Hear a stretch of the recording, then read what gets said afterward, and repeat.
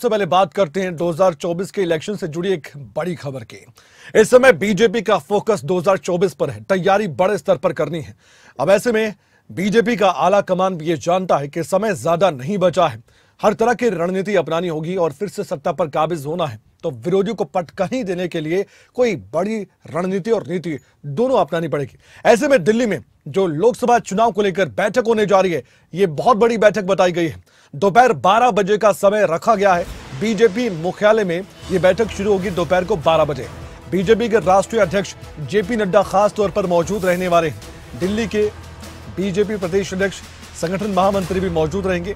दिल्ली प्रदेश के नेता भी इस बैठक में शामिल होंगे और ये जानकारी भी मिली है कि दिल्ली में लोकसभा की सीटों को लेकर मंथन भी होने वाला है और हर राज्य पर वैसे तो फोकस बीजेपी का है किस तरह से हर राज्य में बीजेपी को और ज़्यादा मजबूती प्रदान की जाए, लेकिन एक एक करके सभी राज्यों पर ध्यान केंद्रित करके बीजेपी के बड़े नेता खुद बीजेपी के राष्ट्रीय अध्यक्ष जेपी नड्डा आगे बढ़ रहे हैं। इसलिए दोपहर 12 बजे जो मीटिंग होने जा रही है, इसमें बड़ा मंथन होने वाला है। इस पर हमारी नज़र बनी हुई है। दोपहर 12 बजे ये बैठक शुरू हो जाएगी।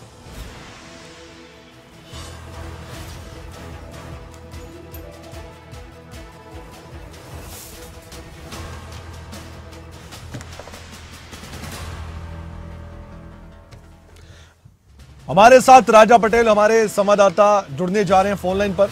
उनसे हम बातचीत करेंगे। राजा पटेल जुड़ चुके हैं फ़ोन लाइन पर। राजा पटेल, दोपहर 12 बजे जो मीटिंग होने जा रही है बीजेपी की, इसके बारे में थोड़ा विस्तार से बताएँगे, क्यों इतनी महत्वपूर्ण ये मीटिंग मानी जा रही है?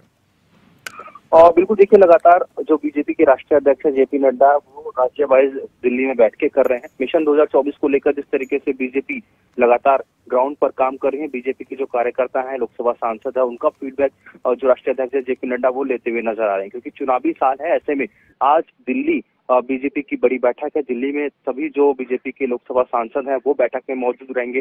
संगठन जो मंत्री हैं, वो बैठक में मौजूद रहेंगे। प्रदेश अध्यक्ष बैठक में मौजूद रहेंगे। दिल्ली में जिस तरीके से आम आदमी पार्टी की सरकार है, ऐसे में बीजेपी चाहेगी कि ज़्यादा से ज़्यादा लोगों के बीच जो उनके कार्यकर्ता हैं, उनके नेता हैं, उनके सांसद हैं, जाए, क्योंकि ये चुनावी साल है। ऐसे में तमाम जो केंद्र की परियोजनाएँ परियोजनाओं की बात करें, केंद्र की तरफ़ से जो नौ साल के कार्यकाल पूरा हो गया, लोगों के बीच जाके, उन लोगों को कार्यकाल के बारे में बताना, इन सभी पहलू को लेकर ही बातचीत होगी। दोपहर बारह बजे बीजेपी हेडक्वार्टर में बैठक शुरू होगी। जी। धन्यवाद जानकारी देने के लिए और इस पर नज़र बनाए रखेगा आपसे अपडेट हम समय समय पर लेते रहेंगे। फ़िलहाल आगे बढ़ते हैं।